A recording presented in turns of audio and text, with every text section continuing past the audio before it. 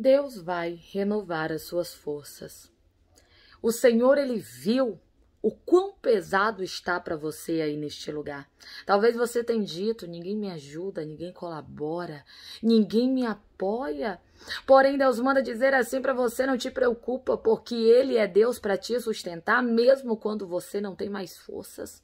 O Senhor, Ele diz para ti, ei, que está se sentindo completamente fragilizado, até pensando que não vai conseguir mais avançar. Deus te trouxe até aqui para dizer: vou eu te renovar neste lugar, vou eu te dar força nova aí onde você está. E aquilo que parecia ao final na tua vida vai ser só o começo de tudo aquilo que Deus vai operar. Você crê, uma posse, recebe. Entende que é Deus que está falando contigo nesta hora, então confirma aí nos comentários e declara: Eu creio nessa palavra. Eu creio nessa palavra. Deixa eu te contar aqui uma coisa. A palavra do Senhor vai nos dizer que Paulo, ele vai ouvir algo da parte de Deus que vai fazer toda a diferença na sua vida, no meio das adversidades que ele enfrentava, no meio dos sabe, que ele vivia. A Bíblia vai dizer que o Senhor falará para Paulo: Paulo, a minha graça te basta. Eu sei que às vezes a gente está entristecido por algo que a gente não tem.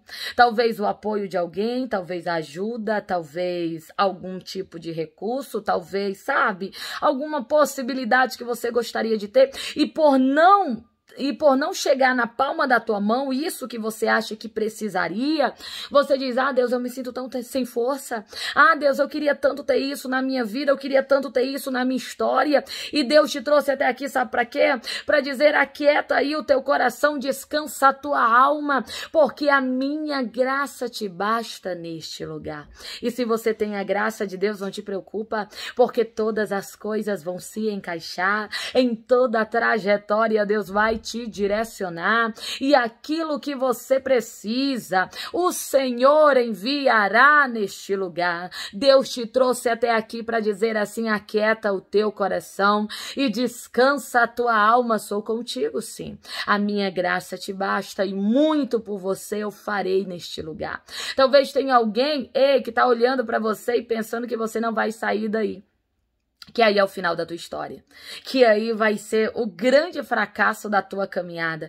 Porém, Deus manda dizer que você tem algo chamado graça derramada sobre a tua vida, e o Senhor diz que essa graça te basta. O Senhor te coloca de pé quando você pensa que não pode mais andar. O Senhor te renova quando você pensa que não tem mais força para caminhar. O Senhor está te dando hoje uma visão nova para mostrar que mesmo quando você desistir, ele não abrirá mão de você e fará você enxergar as coisas de uma forma diferente aí neste lugar.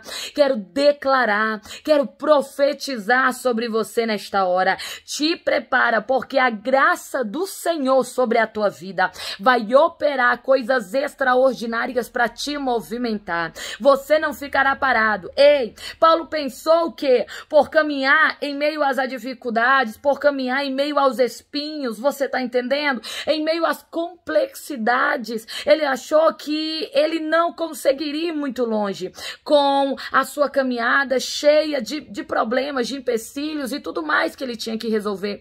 Porém, O Senhor mostrou que, ei, o Senhor mostrou que a graça de Deus era com ele e que nada e nem ninguém iria impedir aquilo que Deus queria fazer. Eu quero declarar esse desafio que se levantou contra a tua vida, você irá superar. Esse problema que veio sobre você, você solucionará. Deus manda dizer que essa impossibilidade vai ser mais um testemunho para contar. O Senhor derrama da sua graça graça sobre a tua vida. O Senhor te direciona aí neste lugar e Ele manda dizer para você: não pense em desistir nem retroceder, porque Ele não vai deixar. Eu sei que você já disse: Deus levanta outro, Deus usa outro, Deus faz na vida de outro e Deus manda dizer que é contigo.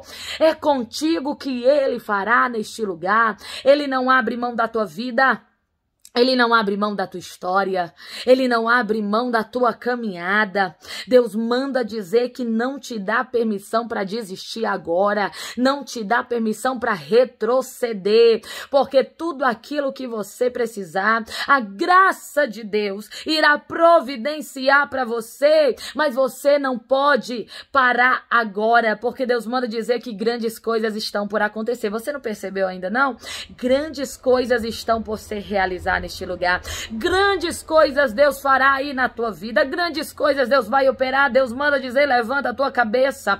Vou eu te surpreender. Vou eu te socorrer. Vou eu te ajudar. Deus manda dizer: você não pode parar às margens de uma grande vitória. Mais alguns passos você vai ter coisas tremendas para comemorar. Deus manda dizer assim que ele está vendo a tua vontade de desistir, porém ele não vai deixar. Ele derrama da sua graça sobre a tua vida. Essa essa graça que renova, essa graça que te restaura, essa graça que te motiva. Deus manda dizer para você nesta hora que Ele derrama dessa graça sobre você agora, para você continuar. Em nome do Senhor Jesus, creia, creia que o que era para ser o teu maior desânimo o que era para ser o teu maior empecilho, o que era para ser a tua maior vergonha, vai ser o teu maior testemunho para contar. Diz o Senhor para o teu coração neste lugar. Ele derrama da sua graça sobre a tua vida para você não desistir, para você não retroceder, para você continuar neste lugar. Deus, grandes coisas vai operar e ele manda dizer que tem uma vitória às portas te esperando e você muito vai comemorar orar. Você crê, toma posse, recebe entende que Deus é Deus quem fala contigo? Então confirma aí nos comentários com o teu Amém. Amém, queridos. Glórias a Deus. Deixa eu orar juntamente com você. Coloca teu pedido, coloca tua petição, teu pedido de oração que eu quero apresentar a tua vida ao Senhor nesta hora.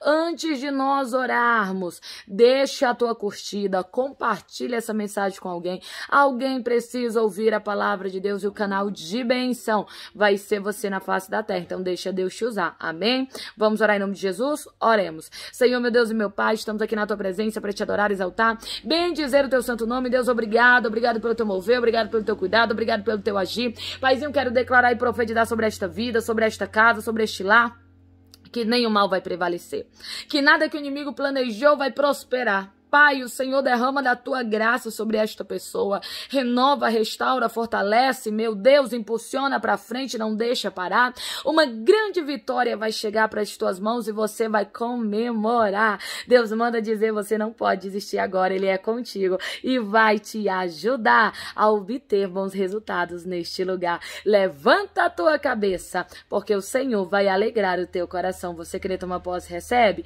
Entende que Deus é Deus que fala contigo, então confirma aí nos comentários com o teu amém. Amém, queridos. Glórias a Deus. Olha só, marca três pessoas para ouvir essa mensagem com você hoje. Que o Papai do Céu te abençoe poderosamente. Fica na paz do Senhor Jesus. Amém.